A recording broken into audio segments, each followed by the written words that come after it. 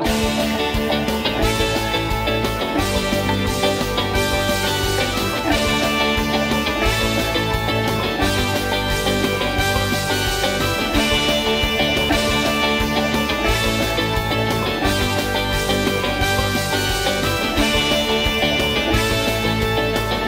prestakuntza, ja irugarren, ez hau da, laugarren urtea denez, pizka bat ja erraza daukagu, ez badaukagu gure kontaktuak, eta hola, orduan pizka bat erraza izan da.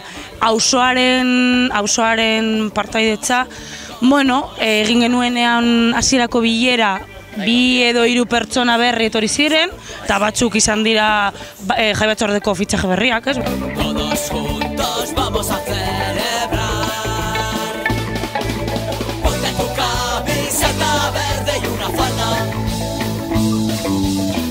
Partekutza handiagoa egon da komertzioen aldetik igual, aurten. E, kontzertio gehiago eta ekintza gehiago antolatu dute haiek, bere kabuz, eta hori berti ba, oso lagungarria, lagungarria da ba, festak e, egiterako orduan, ezta?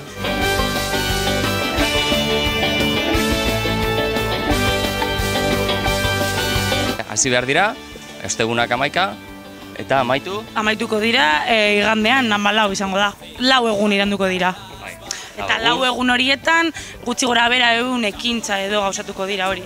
Gureak eta baita ere komertzioan. Ya por fin, por el cerco la paz y por la plaza.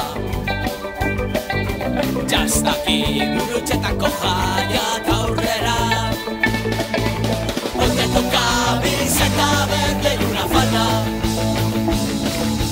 Ostegunean egingo dugu pizka bat prefiestak, prejaiak, ez?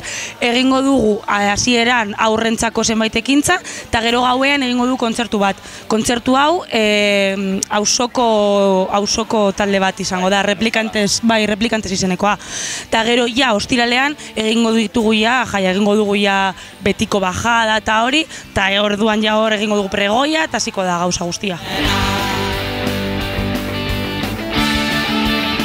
Hasiko gara hemendik eta jaitsiko gara pizka bat e, gurutzetako beko partera, ze bestela beti geratzen da hor pizka bat, bai, eta orduan hasiko gara hortik, eta gero ja berriro betiko bezala egingo dugu e, gurutzetako auzo guztetik, baina hasiko gara hori, La Paz e, beko partetik. Eta aurten jaitsieren egingo duguna izango da pizka bat apainketa edo gauza gehiago eramango ditugu. Bestela pizka oso geratzen da, eta orduan pizka bat bistosoagoa izango da. Ea jende animatzen den eta mozorratzen baden, ba, jaitxiera egiteko, mesedez, eh? Ator, gogor. Ez du erurik egingo, eta orduan etorri. Todas las calles ya huelen a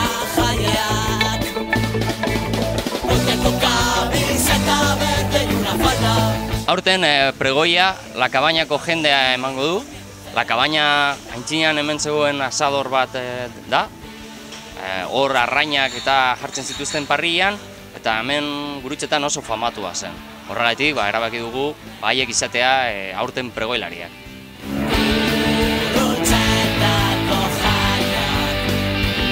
Guneak dira, bueno, hemen gaude eta hau da parkina eta hau da uste dugu garrantzitsuena edo hemen ekintz gehienak gauzatuko dira eta hemen egongo dira kontzertu gehienak, daukagu hori e, eszenarioa, eta gero daukagu e, el zerkon, hor egingo dituzte e, putzerak, eta baita ere mm, ostiralean da larun batean egongo da kontzertu edo berbena bat, txitxarrio bat eta berbena bat, egongo dira hor elzerkon. Bai, eta gero daukagu ere frontoia.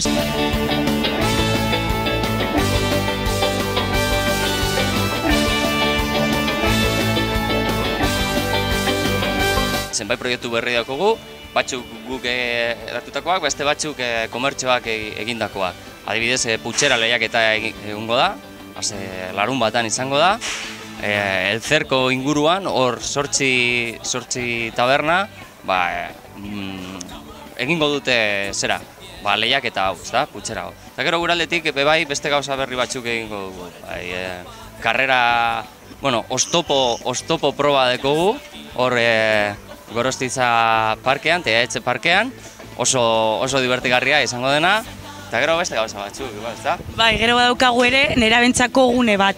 Beti egiten ditugu ekintzak umentzako eta helduentzako eta besti gazteak edo nerabeak hor geratzen dira. Ta orduan aurten frontoian larun batean arratsaldean hasiko da arratsaldeko bosterrietak aldera eta bederatzietan bukatuko da eta hori nerabei zuzendutako ekintzak egingo ditugu. Ekintza horik izango dira alde batetik e, parkur tailer eta exhibizio bat, da gero e, grafiti tailer bat, eta azkenik ere argazki jinkana bat.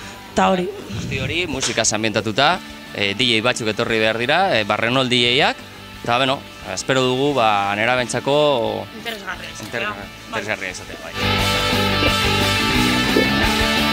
Barakaldoko artisau elkarte burubika izenekoa egongo dira ere e, ospital aurrean, horiek egongo dira ere e, larun batean.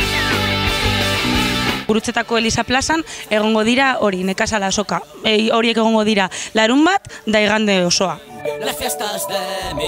Aurten da bigarren urtea egiten duguna em, aberen asoka, eta hau da hori esan- lehen esan dugun bezala e, lasieben, e, hau hautatu dugu pasaren urtean izugarrizko arrakasta izan zuelako, eta gainera ba, ausoko baserritarrek e, dira parte hartzen dutenak, eta ekartzen dituzte haien abereak eta hori, da umeentzako uste dugu oso garrantzitsua dela ikustea. Batzuk ez, ez dakit e, nondik etortzen diren gauzak eta nolakoak diren animaliak, orduan hori oso e, interesgarria iruditzen zaigu. Bai. Bai.